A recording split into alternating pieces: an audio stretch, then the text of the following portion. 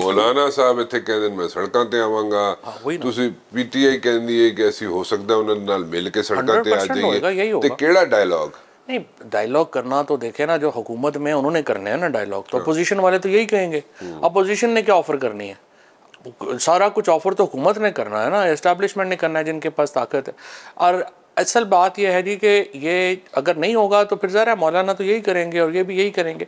लेकिन मैं सुनता आ रहा मैं बड़े अरसे सुन रहा रमज़ान तो सुनता आ रहा उस तो बाद जनाब ईद के बाद ईद के बाद ईद के बाद। सितंबर के बाद शुरू हो जाएगा। मतलब मौसम ठीक हो जाए। दो वजूहत है ना एक तो मौसम बेहतर हो जाएगा हाँ। दूसरा ये जो बजट है हाँ। इसके असरात पूरी तौर के ऊपर अभी लोगों को पूरे नहीं समझ आए। ठीक अभी इस महीने का बिल आने दें अगले महीने के बिल आने दें फिर लोगों ने आधे लोगों में वैसे चीखा निकल गया हम्म। तो ये वो सेप्टेम्बर तक लोग जो है वो इंतजार करेंगे ओके सितंबर के बाद तो खुद ही तारीख शुरू हो जानी है मान मौलाना करें ना करें फिर फिर लेकिन क्या दैट्स करें, going to be like not good कि अगर ਤੁਸੀਂ ਲੀਡਰਲੈਸ ਤਹਿਰੀਕ शुरू हो जाए तो फिर वो तो एक सिचुएशन बन जाएगी ये अलहदा प्रॉब्लम है अच्छा उससे पहले अब जो कुछ होना है मसलन हमें आज अ, जब हम प्रोग्राम ये कर रहे हैं उस वक्त तक कोई एलामिया जारी नहीं हुआ जो कल मीटिंग हुई है chief Election justice Commission। Lahore की और इलेक्शन कमीशन की जी हाँ, जी हाँ। अब अगर वो ट्राइब्यूनल्स चेंज नहीं कर रही चीफ जस्टिस लाहौर तो देखें ना इस वक्त जो सारी घबराहट है ना हुकूमत की अगर आपने गौर किया हो तो वो ये सीटें देने का इशू जो है वो नहीं है। असल घबराहट यह है कि अगर ये सीटें खुल गई फॉर्म 47 की तो फिर की बनेगा? ख्वाजा आसफ साहब क्या रो रहे हैं? वो कहते हैं कि जी अक्टूबर में इन्होंने इलेक्शन खोल देना।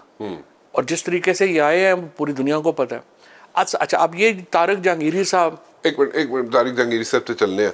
अगर इलेक्शन खोल देंगे जैसे ख्वाजा साहब कह रहे हैं। ठीक है तो फिर दैट मींस कि फिर एक नवा सिनेरियो डेवलप नया सिनेरियो डेवलप हो जाता है ना उसकी वजह क्या है? देखें ना इस वक्त तकरीबन 55 सीटें हैं जो खुल गई हैं। नून लीग की।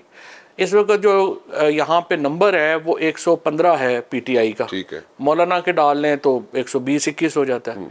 तो इसका मतलब है कि इनको चाहिए तकरीबन 40 सीटें रिवर्स होंगी तो ये 170 पे आ जाते हैं। और 40 सीटें जो हैं वो रिवर्स हो जाती हैं बिकॉज़ 45 47 में सीधा सीधा इतना फ़र्क है। तो उसकी वजह से जो असल घबराहट है जो आज मरियम नवाज़ ने भी सीधी जुडिशरी के ऊपर बड़ी शदीद तनकीद की है और फिर अ, वो तो बाकी तो जो है वो कर ही रहे हैं और जो अपने लोगों के ज़रिए करवा रहे हैं वो तो सब सबको पता ही है। लेकिन पीपल्स पार्टी को बैकआउट कर गई? ये बैन से बैन से पहले कह रहे सन कि we are against the ban पता नहीं पीपल्स पार्टी दरमियान में रखेगी पीपल्स पार्टी का पहले तो जिस दिन अनाउंसमेंट हुई है गवर्नमेंट की तरफ़ उस वेले तो बिल्कुल फ्रंट फुट पे आके पीपल्स पार्टी ने कहा जनाब के we are totally against this thing कि पीटीआई नु बैन किया जावे। ठीक है?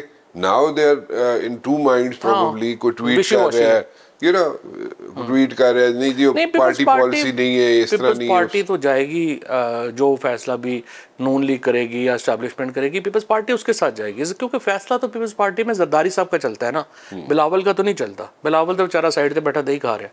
तो उसका तो नहीं चलता तो अ, जरदारी साहब जो है वो ਇਹ ਜਿਹੜੇ ਦੋ ਗਵਰਨਰ ਲੱਗੇ ਨੇ ਕੇਪੀਕੇ ਦੇ ਔਰ ਪੰਜਾਬ ਦੇ ਇਹ ਜ਼ਰਦਾਰੀ ਸਾਹਿਬ ਦੇ ਕਹਿਣੇ ਤੇ ਲੱਗੇ ਨੇ ਜਾਂ ਬਿਲਾਵਲ ਦੇ ਕਹਿਣੇ ਤੇ ਲੱਗੇ ਨੇ पता नहीं किसके कहने पे ਮੇਰੇ लगे। ਖਿਆਲ ਵਿੱਚ ਬਿਲਾਵਲ के कहने अच्छा पे